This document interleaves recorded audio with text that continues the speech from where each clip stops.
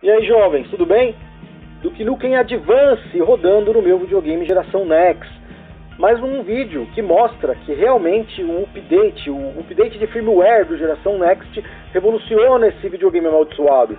Se você tem aí um geração Next, faça o download no link da descrição, tem essa ROM.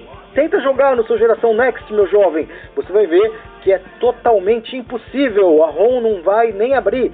E se abrir, você vai ter uma tela toda desmanchada, meu jovem. Mas com o update de firmware, o geração Next, o amaldiçoado geração Next, ele roda todos os jogos do Game Boy perfeitamente, com excelente velocidade e também com um áudio perfeito, jovem.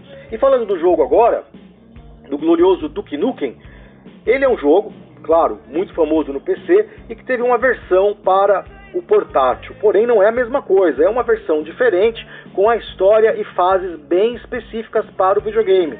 Também, meu jovem, são específicos os botões.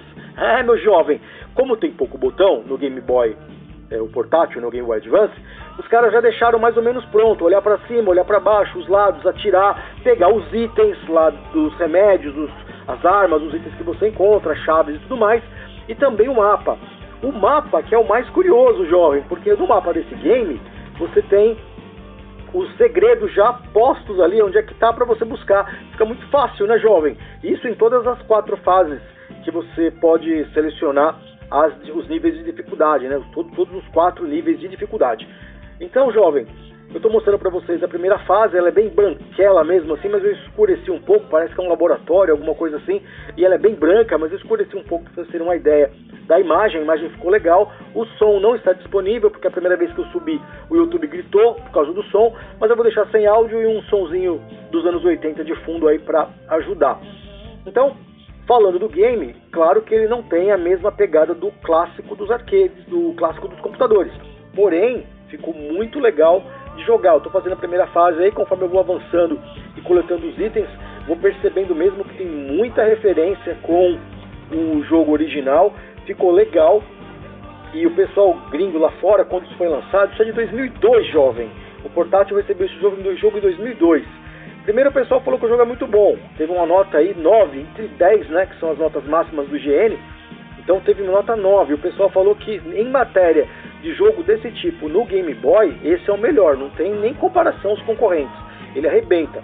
E fora isso também, o pessoal gostou dessa história nova que foi contada. Achou que foi uma maneira legal e que dá para você, é, usando o hardware específico desse videogame, jogar bastante esse jogo, se divertir por bastante tempo, porque o jogo não é monótono e o jogo tem essas opções de dificuldade que ajudam você a obter resultados é, melhores conforme você avança. E avisando ao monstro aí, nunca fique perto do bujão de gás, meu jovem, quando o Duke Nukem está em ação. Estou fazendo a primeira fase só para vocês verem até o final. Escolhi o modo fácil, senão já tinha morrido só nessa truncada do cara aí do meu lado, sem ver direito ele, já tinha morrido. Porém, o modo fácil também tem uma coisa: o, o vilão aí, os monstros, ele não te dá muito dano na saúde. Porém, também para você matá-los, você precisa de muito mais munição. Você vai falando com os seus superiores, vai passando as informações de acordo com o que você está coletando. E aqui nessa parte eu já consigo avançar, fazer aí a minha passagem para o outro nível. Posso salvar normalmente, tem cinco slots para salvar o avanço do game, normal.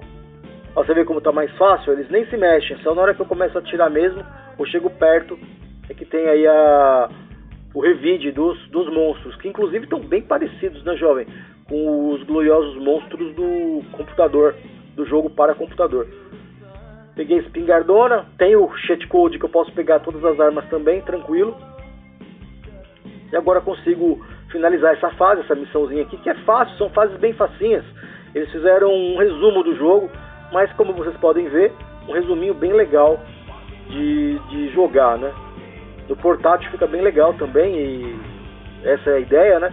Mas jogando no geração Next, o meu Game Boy de mesa, ficou muito legal. E eu gosto porque apenas aperte um botão, escolha ROM e jogue, meus jovens. É isso aí. Uma visão de Duke Nukem, o clássico do sistema do Game Boy. Até a próxima.